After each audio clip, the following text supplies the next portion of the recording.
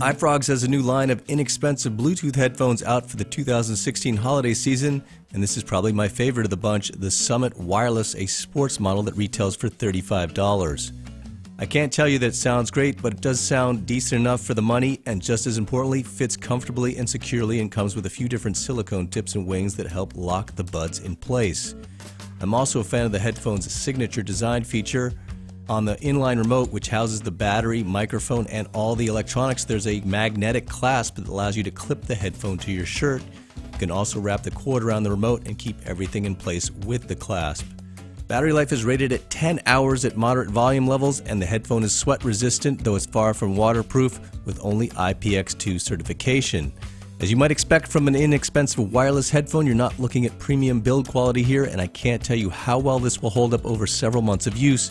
But for 35 bucks, you are getting a lightweight, comfortable wireless headphone that sounds decent enough and can be used for running or just walking around. And that's not a bad deal. I'm David Carnoy for CNET.com. Thanks for watching.